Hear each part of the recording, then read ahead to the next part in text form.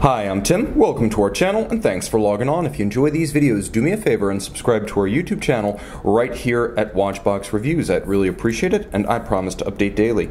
If you love this watch, you could see it and you could purchase it on our website, thewatchbox.com. Today, we are discussing a legend made from 1986 to 2004. This is the Patek Philippe 3970G Perpetual Calendar Chronograph. The model seen here is often described as a fourth series watch and it's a timepiece that was part of the last run of these, built from the late 1990s through 2004. 36.3 millimeters in diameter on my 16 centimeter circumference wrist, it wears easily. It's just over 43 millimeters, 43.5 from lug to lug with a 13 millimeter thickness on the wrist so it'll duck under any formal sleeve or dress cuff with a 19 millimeter spacing between the lugs. Now the timepiece is equipped with a sort of rust red or red brown, large rectangular scale matte finish alligator leather strap with a monotone stitch, sheer sided construction showing the layers of leather. You can see this is a brand new Patek Factory strap. It features the later pull tab spring bars that allow you to use your fingernail to remove the strap for cleaning between the lugs or strap swapping.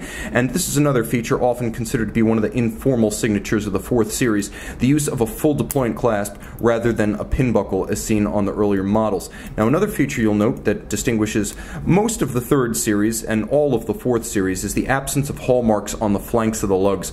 On this series you can see they are distinct and deep on the undersides of the lugs rather than in the profile.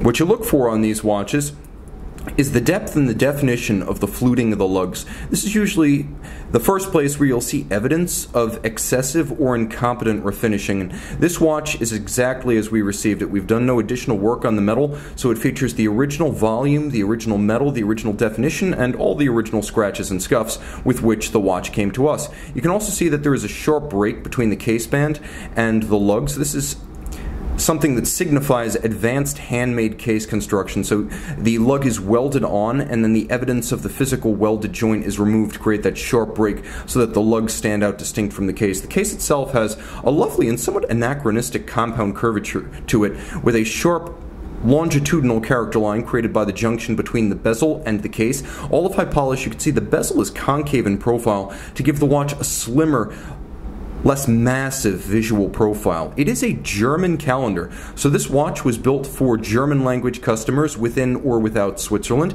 making it just a little bit different. It's intuitive to learn and you'll catch on soon enough, but it gives the watch a wonderful old world flavor.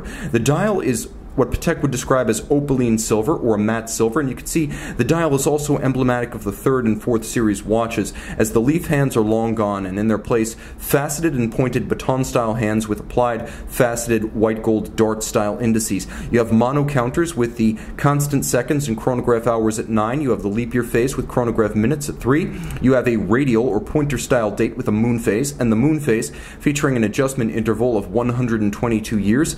Of course, Let's get this running. A sharp column wheel action thanks to the Lemania based, that is Lemania 2310 based, Patek Philippe CH2770.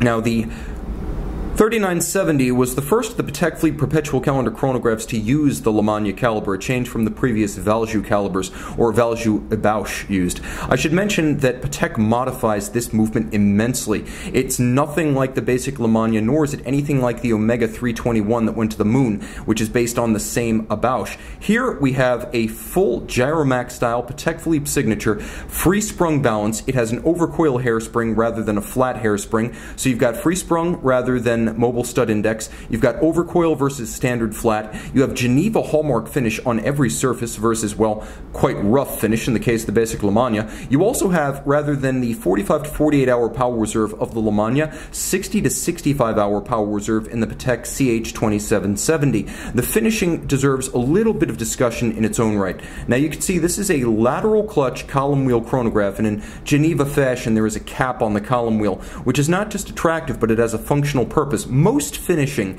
has functional origins, and in the case of the capped column wheel, it's designed to help resist shock so that the horns of the levers and the yoke don't jump out from between the crenellated towers.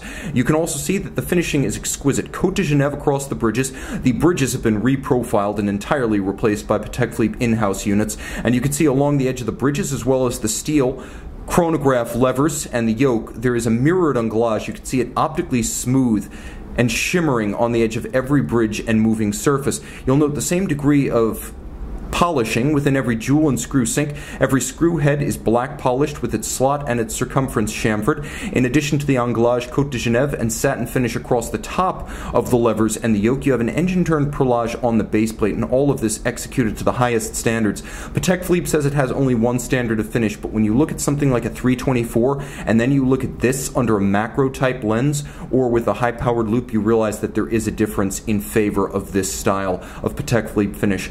The Gamme the top of the line. 30 meters water resistant, so it's not a water resistant watch, but then again, you have a Nautilus for that, right? Of course. See this fourth series Philippe Perpetual Calendar chronograph and make it yours on the watch box.